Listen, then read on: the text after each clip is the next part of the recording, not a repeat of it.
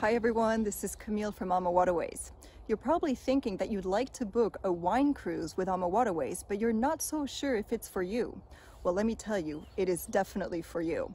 It is like a regular cruise going through the same sites and cities with guided tours, hikes, and even bicycle rides, but you have an enhanced onboard experience with our very own wine host with all the fabulous wine lectures and wine tastings.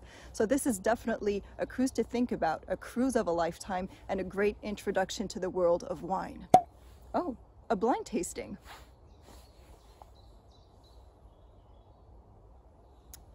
This is definitely a red wine.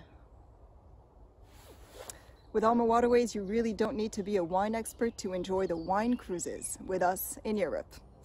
Cheers.